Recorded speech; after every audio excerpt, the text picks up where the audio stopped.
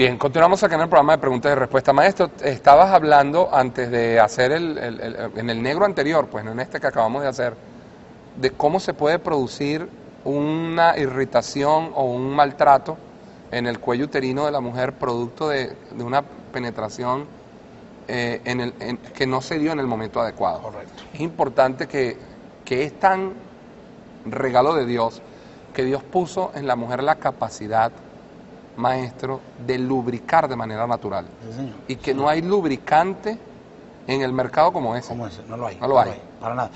Porque, Y no a- se- no se porque- agota. Porque aún los que. Y no se agota, los- no se cansa. porque No, aún- no- no se- el frasco se, se perdón, me pastor. rompió Porque aún los que, los que han fabricado en el mercado. eh, en el mercado eh, eh, traen cierta molestia. Ah, y como químicos pueden Eh, producir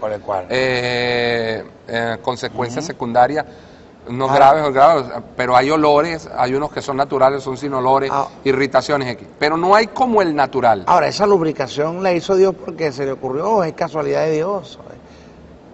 Eh, ¿Por qué la hizo Dios? Porque, por- porque Maestro, no, porque, porque hay un sentir. porque no aprendemos que eso es un instinto, o debo decir, un indicativo que por ende te muestra que ya puedes entrar en la- Maestro, en, la- porque en esa ese, ese, ese es el, ese es el, esa es la mantequilla que va en la bandeja para poder hornear el plátano.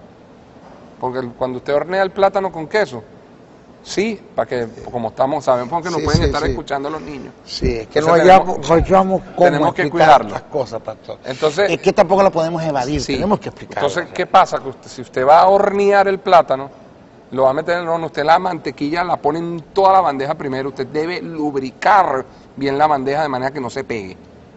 Entonces, a mí me preguntan cuando doy educación sexual, que me dicen, pastor, ¿cuál es, ¿cuándo es el momento, el momento preciso para tú lograr donde la mujer quiere la penetración y cuál es el momento donde la, la mujer no, no, no, no, no, no está bien? Yo le digo, eso te lo dice ella.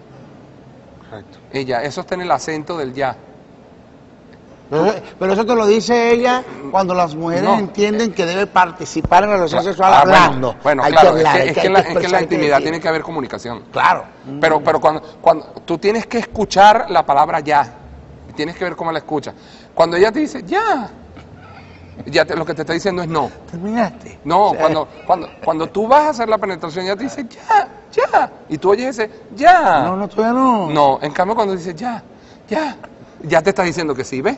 Entonces cambia la palabra para que, para que, para que ella es la que te lo debe pedir. Yo espera que te lo pida ella, por favor, los amigos que me están escuchando, que me nos están viendo, Mm. hágalo por prueba. Espere que sea. Lo que pasa es que yo, yo estoy apurado, que va a empezar el partido de fútbol, que es el mundial, quédese tranquilo, deje que sea ella la que le diga ya. O sea, es, es- es que te lo piden con una dulzura, maestro. Sí. Unas cosas que ya, o sea, que ya. No, necesito eh, que, como, Ay. como estábamos diciendo, vamos a hornear el plátano. Para evitar caer en este terreno, ¿en cuál? En que haya una penetración o una fusión de los genitales en un tiempo inadecuado. Para evitar caer en este terreno, los cónyuges deben conocerse mutuamente las zonas erógenas y entrar en el juego sexual acariciando dichas zonas hasta que se presente el momento adecuado para la fusión de los genitales. Como antes, dice, como, como entes involucrados en la relación sexual, debemos conocer que es una relación sexual, que en la relación sexual se compone de tres etapas, que son preludio, fusión y posludio, que voy a detallar a continuación. Donde el estado anímico de la pareja cambia por completo, donde hay eh, descendencia y ascendencia en, en el, en el ánimo. O sea, todos esos factores los vamos a evaluar, maestro. Correcto. Tenemos el preludio. Es cuando se ofrecen tiernas palabras y delicadas caricias. En cuanto a palabras y delicadas caricias, que, que lo que usted dio ahorita. 10 y 12 horas antes. Claro que sí, lo que usted dio ahorita, que está cocinando y viene y te, te le das por la espaldita, le muerdes una orejita, le agarra. Tú sabes, tú, la usted me tiene que estar entendiendo. Claro, usted le acerca bonito por atrás Sí. al cuellito y le dice, ¿qué estás cocinando? Qué rico huele. Y le dejas ahí, huele, Mm. Sí. yo- ¿huelo yo o huele la comida? Dejas eso ahí, te sale y te va. ¿Me entiendes? Ese roce, Eh, eso. esa Que- cosita que, que es un momentico y ya. que puede comenzar antes, 12 horas antes, 10 horas antes, lo que usted decía. En cuanto se ofre- es cuando se ofrecen, ¿cuál? El preludio, es cuando se ofrecen tiernas palabras y delicadas caricias, donde se exaltan los sentimientos de la pareja, entrando en una etapa de excitación sexual ascendente para luego pasar a la etapa de la fusión. ¿Ya?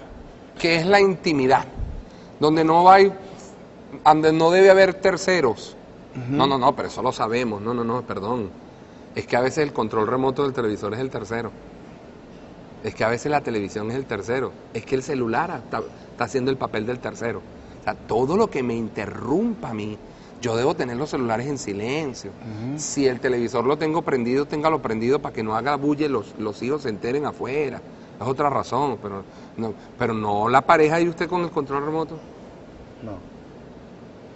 ¿Qué te pasa? O sea, No, la pareja sola, con uno funcionando y uno mirando. ¡Qué locura! O sea, bien viéndolo, por favor. Oye, pero sí, espérate, espérate, espérate. Le estás prestando, ¡ay, qué risa! ¿Te gusta, mi amor? No, el chiste que pasaba en la televisión. no, o le Es estás eso. prestando atención al televisor o a mí. Vamos a ver. Después de esto viene la fusión. Es la unión de espíritu.